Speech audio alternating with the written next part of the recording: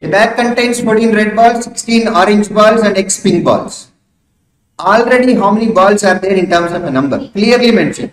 30. And X more we have. The probability of choosing one orange ball out of total balls in the bag is 4 by 30. So orange balls, how many parts we have? 4 parts, correct? And how many orange balls in terms of number we have? 16. These are oranges. And now total belongs to denominator which is 13 parts only. For how many times?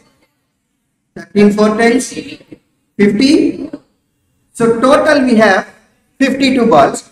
Out of 52 we know red and orange together we have 30 balls right. Now if we subtract that 30 you will get 22 and which belongs to pink only. Now question is about find the probability of getting one ball which can be either red or pink. You know pink are 22, red are 14. Pink or red in the sense 36. C1 because we need to pick only one. Out of total 52, 4, 9 times 4, 13 times. 9 by 13, 4 option.